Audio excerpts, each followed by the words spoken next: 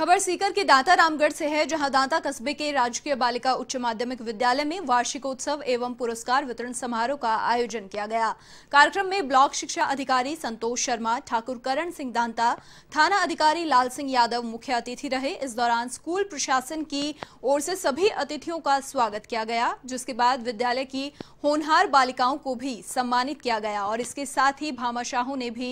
विद्यालय की बालिकाओं को एनसीसी कैडेट की वर्दियां वितरित key.